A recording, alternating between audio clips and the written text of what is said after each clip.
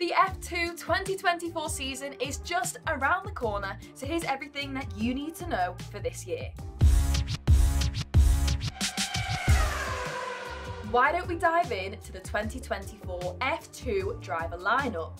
Unlike Formula 1, Formula 2 has 11 teams on the grid, but who are the drivers? Prema Racing sees hotly tipped Mercedes Junior and Formula Regional European 2023 champion Andrea Kimi Antonelli, with a teammate of Ferrari Junior Oliver Bearman. Dams see an all-new driver lineup with Jack Crawford and Juan Manuel Correa, who made his full-time return to F2 last season. MP Motorsport continues with Dennis Hauger, who's joined by rookie Franco Colapinto, who got a taste of the series last year for the season finale at Yas Marina Circuit. In the Hitech Pulse-Eight seats, we have Paul Aron making his F2 debut alongside Amaury Cordeel.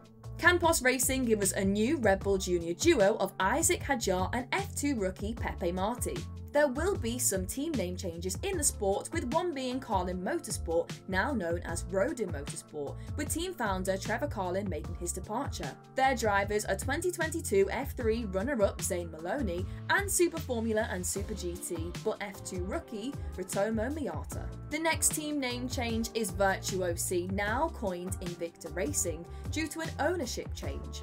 It's a pretty cool name in my opinion.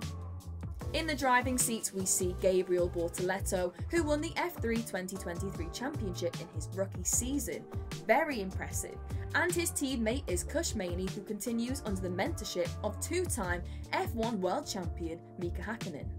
Art Grand Prix have announced F2 rookie and 2021 Aston Martin Autosport BRDC Young Driver of the Year winner Zach O'Sullivan as one of their drivers, alongside Victor Martins. Van Amersfoort Racing will have an all-new driver lineup with Enzo Fittipaldi, grandson of the two-time Formula One world champion Emerson Fittipaldi, and Rafael Villagomez will join him. Next up is Trident, who have the return of Richard Verschoor, who drove for the team in 2022, and his teammate is Roman Stanek.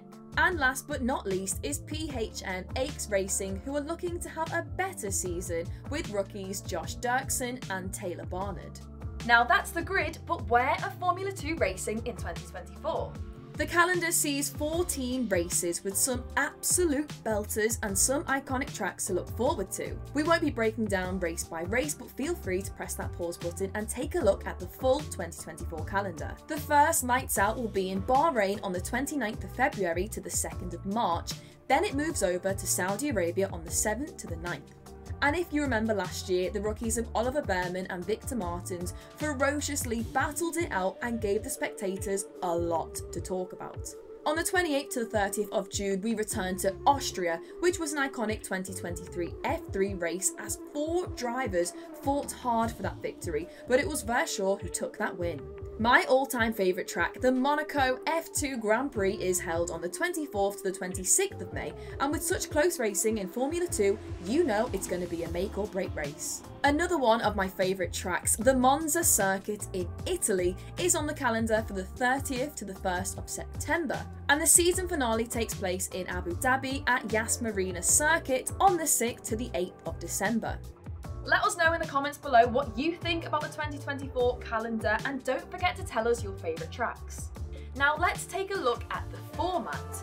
You might be a new fan, so don't worry, we've got you back and let's take it from the top. The weekend starts on a Friday with one free practice session of 45 minutes and one qualifying session of 30 minutes.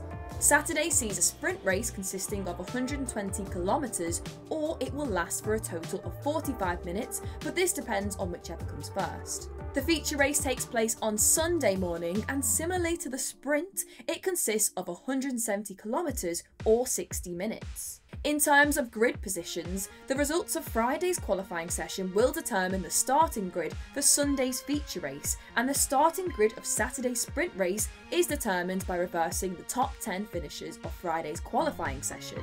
The feature race includes a compulsory pit stop in which all four tyres must be changed. Unless the driver has used wet weather tyres during the race, they must use at least one set of each specification of dry weather tyres. Not familiar with the point scoring system? Then let's take a peek. For the sprint race, the top 8 classified drivers will be awarded 10, 8, 6, 5, 4, 3, 2, and 1 points respectively.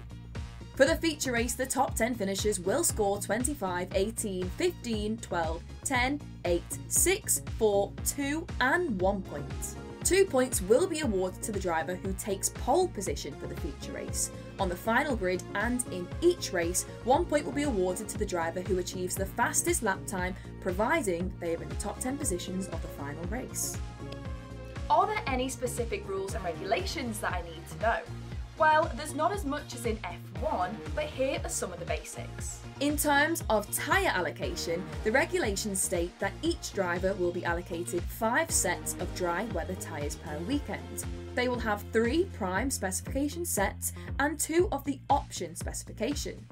Each driver will also be provided with three sets of wet weather tyres. DRS can be enabled with the designated DRS zones during free practice and qualifying. During the sprint race and feature race, the drivers will only be allowed to activate DRS within the designated zones when within less than a second of the car in front and is available to use after two laps unless decided otherwise by the race director due to a number of different variables. Some exciting news for the 2024 F2 season is the next generation F2 car that was unveiled to the media last year. So, what's changed? The new car is designed to give the drivers the best preparation for F1 by making it as close as possible to an F1 car, and this is done by the overall concept. This includes the body structures, onboard electricals, and performance across the board. The floor, front and rear wings and nose have been designed to enhance closer, more competitive racing, which is something we all love to hear. The car is powered by a 3.4 litre turbocharged hybrid Mecachrome engine and accommodates the Aramco synthetic sustainable fuel that will be introduced in 2025. In terms of the electronics, the car has been enhanced with a new Marelli Vehicle Control Unit, or VCU, which mimics the exact same digital setups found across Formula One. That's everything that you need to know about the F2 2024 season. Will you be watching this year? Let us know in the comments below, and don't forget to tell us who you're rooting for this season.